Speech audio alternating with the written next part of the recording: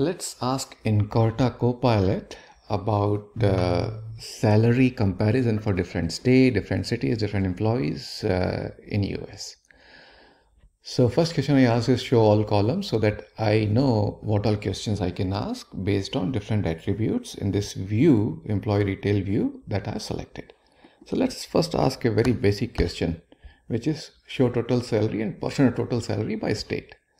Pretty simple. It's showing me all the information here. I can also look this up using chart and this is total salary. I can see California is highest and after that Texas. And if I want to see percent of total, I can see that as well. For California, again, percent total is highest and then Texas and the other states I can see. Do some analysis for all the cities in Texas. So what I'm going to do is I'm going to find what is total salary, percent of total salary by city now. Eh? And I only want to see this for Texas. So same data I'm querying, but this time only by city and for state of Texas.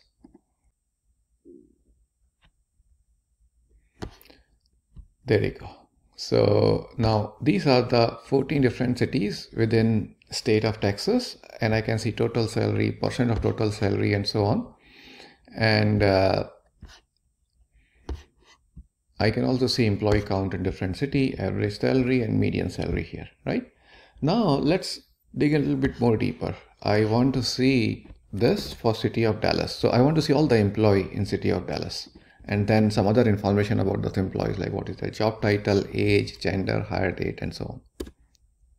There you go. Now it's showing me all the employees, the 54 employees, right? So there are 54 employees in Dallas. So it's getting me all the employees here.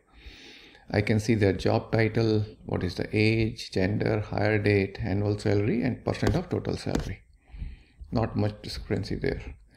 And I can also uh, look at this here. So for example, look like uh, with job title assistant director, lots of them are there working in Dallas, 28%. Then branch manager is the next, then others, right? So good information here by profiling this. Okay, now let's switch gear a little bit and let's compare be between two states. So I want to see how does California compare with Texas in terms of some of these attributes. There you go. Now I can see all these attributes here just for Texas and California. Let's see if we can show some meaningful information in chart. So I can pick and choose what I want to see here, right? So it's showing median salary, average salary. But in California and Texas, if I want to compare this for a particular gender, I can just ask in the end, show me only for female or male.